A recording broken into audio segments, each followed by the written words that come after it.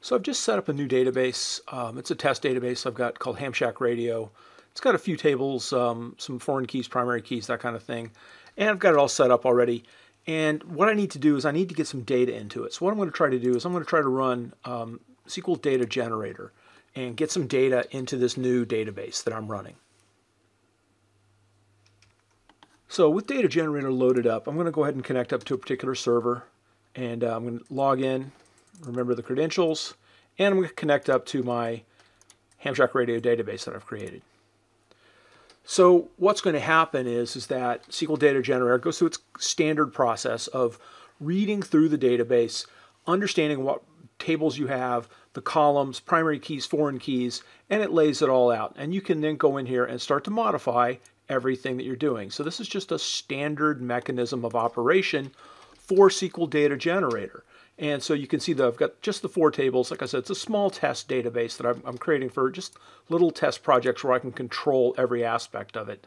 And you can see that I've got, you know, the vendor names, radio names, and I've got different things set up in each of these that I could go in and start to modify and control the way it's set up. I'm just going to leave the defaults completely in place right now, and I'm going to go ahead and run uh, this data generation and let it populate the data.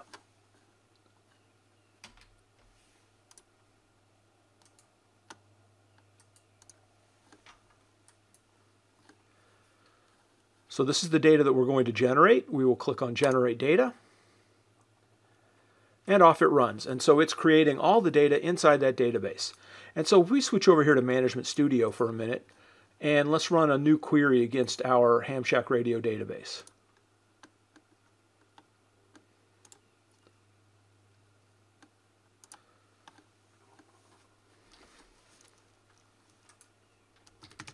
Just for demo purposes, we're going to say select star from, and we'll select star from radio.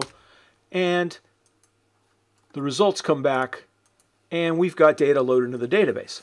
Now, what I haven't told you at this point is that this isn't just any database. This is actually a Google Cloud SQL database. If we switch over here to uh, Explorer uh, Edge, we can see that in fact, I'm running a test instance on Google Cloud, and that is what I just loaded my data to. So the information there is all available on this cloud, out in the cloud, and that's all generated from SQL Data Generator. No errors, no issues. It just ran. Uh, it's just like a normal instance and we can take control of it. So this is a great way to use some of the Redgate tools with your cloud platform as a service offerings, you can put our tools to work on them.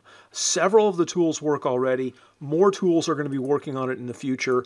I'm going to show you several of these over time, which ones work, and get you some idea of what you can do so that you can take the same tools that you're used to using in your local instances, and as you move out to the cloud, whether it be Google, AWS, Azure, Redgate is going to come right along with you and support you on your journey.